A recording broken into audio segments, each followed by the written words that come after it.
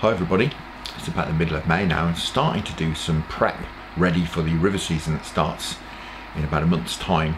And I thought what we'll do is I, I get asked on social media fairly regularly uh, about various setups and what I do and bits and pieces. So I thought perhaps as it was this time of year, prep time of year for the river season, that I would um, go through certain aspects of my setup so I'm going to do a little bit of a series of videos ranging from sort of my barbel fishing to my just standard perhaps chub roving, terminal tackle through my luggage, uh, rods and reels etc. So for this first video um, I thought what we'll do is run you through my barbel rigs that I use, my barbel hook links. Before we get down and look at the desk uh, and we do a bit of bit of close-up rig tying, uh, I'm going to tie some rigs today. Um, I, I, use two main rigs for barbel. Um, one is a, a, coated braid rig and I am aware that some place and certainly one place I fish uh, you're not allowed to use braid at all. So I also do use fluorocarbon and especially if the, if the river's very clear um, I would, I would uh, favour a fluoro fluorocarbon rig. Now these rigs I tie up independently, I tie them at home uh, and I take them in a rig box, take them to the river and they'll fit on my rig system and the terminal tackle that I use at the river which I've got a system I use as well there which I'll run through in another video as part of this series. It's a very adjustable rig um, but these sort of fit into that system if you like. So it's probably enough waffling. We'll have a look down at the table and uh, we'll get tying some rigs. So this is the gear I typically use for my barbel rigs. I'll just run you through a few items. Now what I like to do, as you can probably see here, we'll start with the bait end, is I like to fix my boilies on, if I'm using boilies with a screw. I've been using these for many years and they've lasted me a very very long time but they are no longer around so I'm switching over to various other makes which I'm trying out this year. Some Nash ones and some Korda ones. You'll see a lot of this stuff is Korda um, stuff. Uh, make no apologies for that. In my opinion they make the best stuff the best uh, terminal tackle um, which is why I use Korda gear as much as possible. Now for my coated braid rigs, clearly we don't need the IQ. However, we will use the rest of the gear here, or some of it certainly. Obviously, we'll choose one of those to use. We'll probably stick with using my Taska ones, the few I've got left here. Um, hooks, I use Korda Kurv Shank hooks for my barbel fishing, size 6 and 8. Uh, I will go smaller if I'm going on maggots or uh, such things, or even worms. But for my boilie fishing, which um, these hook links will be for. Uh, I'm going to use uh, a size 6. I do use 8s as I say sometimes, but we'll put those to one side for now. We'll do this based on a 6. As I say, I do go smaller. I will use smaller hooks down to a 12. That's the smallest they do. It is a very big 12 based on other hook sizes. But uh, I will go down to a 12 when I'm using uh, maggots, but I'll tie it up exactly the same way. I do uh, favour N-Trap as well, although I have started using this. I couldn't get some N-Trap last time I was buying a replacement, so I've tried some this Korda camo as well, and that's that's decent stuff as well. But we'll tie this from the N-Trap. So what I'm going to do is pull off a length of this. Uh, I've gone off shot there, but I'm going to pull off. I would say that is about two foot, two and a half foot something along those lines. And we'll uh, we'll snip that off there. Lovely pair of nail scissors I use for my home tied hook links. Now what I like to do is strip this braid off. I don't have any strippers, but uh, I just, as you can see, tend to use my thumbnail. Does a decent job. Now what I strip off is a couple of inches, something like that. I'll strip off a little bit more. There we go strip off a couple of inches there to give a nice flexible section next to the hook. I'm not sure how much of a difference that makes but as with lots of things in fishing if it gives you confidence do it. So we'll take our hook out. We'll tie this on with a knotless knot. So just leave a little tag through there. I usually go about six or seven times around here. One two three four five six whipping at the knot at the hook I should say of course. There we are. And then back through always come back through obviously towards the point. Gives us our knotless knot with our supple section. The next thing to do is take your D-rig kicker my last one.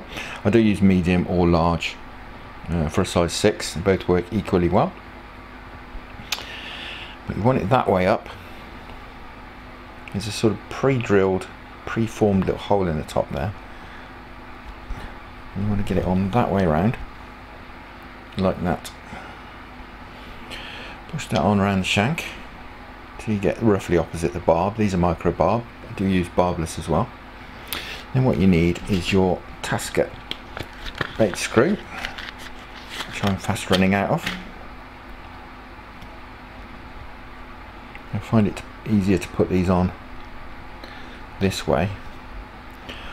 I say easier. It's not actually easy. A bit fiddly to get through.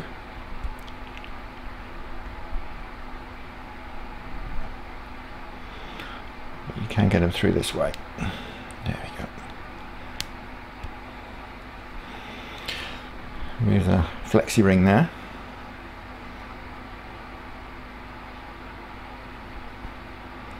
And thread our hook link through the back. And it's just a case of carefully again so you don't stab yourself. This is a very fiddly part of the operation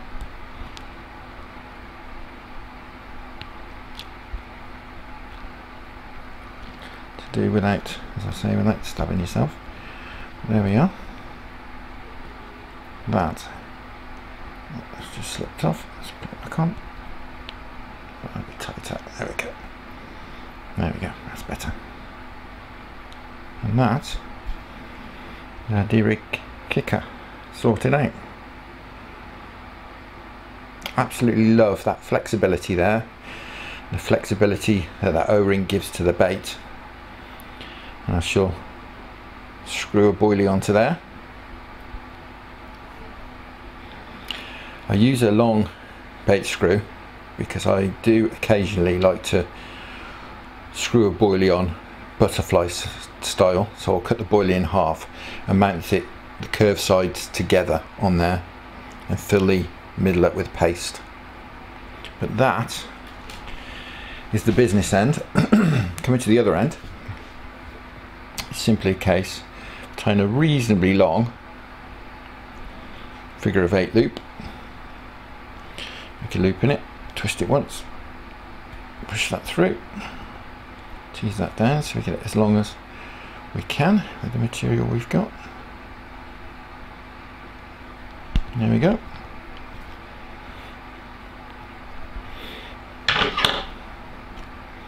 Worth moistening your knots as well guys. I haven't this occasion. But uh, always give them a moisten and always use sharp scissors as well. There we go. So that is my finished rig for barbel when I'm using boilies. Now let's put that to one side.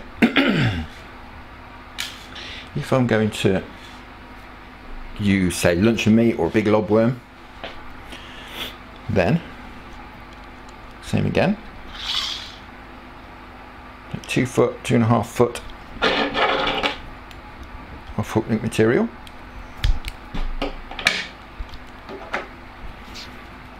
Strip it off. There we go. Right. So again, if I'm using a bit of luncheon meat,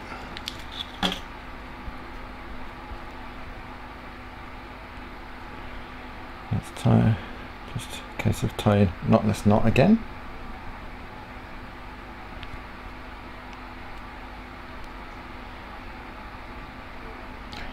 four, five, six. Now the flexible section, a bit less important if you're going to shove it in a lump of luncheon meat. But I do like to just still have that little bit of movement there. As I say, I'm not sure. There's a, lots of debate on whether that makes a lot of difference, but does to me. Now what you're going to need on this one is a kicker. Basically the same as the D-rig kickers. But without the D part. Because obviously we're not going to be screwing a, a boilie onto these. There we are. Pass that through that. Sure you get it on the right way around. Fat end first.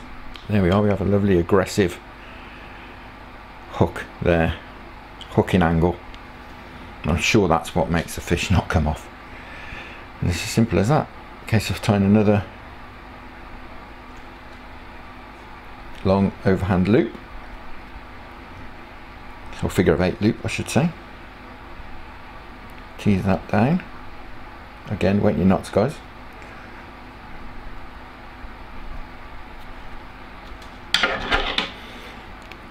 do like a long loop. Because it acts as a bit of an anti-tangle boom.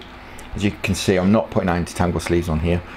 All will become obvious when I do the video of my terminal tackle. There we are that is our rig for when we're not using a boilie. Clearly I can use this, put any size hook on there I wanted. Right. The third rig that I use is a fluorocarbon rig. This is, um, I use this IQ, I do like this IQ, it's quite stiff, which I do like. And then again there's debate again rages on the internet about whether barbel spook off fluorocarbon. I've heard stories of you know people saying barbel spook off fluorocarbon, but there's a braid ban on on your waters like there is on one of my waters, and you have no choice. So again, two and a half foot, 60, 70 centimeters. May seem a little bit short, but as I say, if you come to the next video, you'll see why I do this. Now,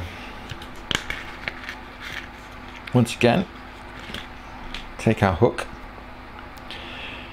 Now, I'm not going to explain to you how to tie a D-rig on here because there's many other videos on the internet explaining how to tie a D-rig because you don't you can you certainly use a D-rig kicker on here no problem at all but you can also tie it using the fluorocarbon because it's stiff enough and you end up with that sort of effect.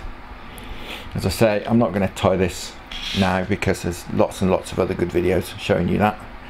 But you end up with that. What I would do with this, again, was I using it for luncheon meat or worms. It's just a simple case of knotless knot. Nicely bedded down like that.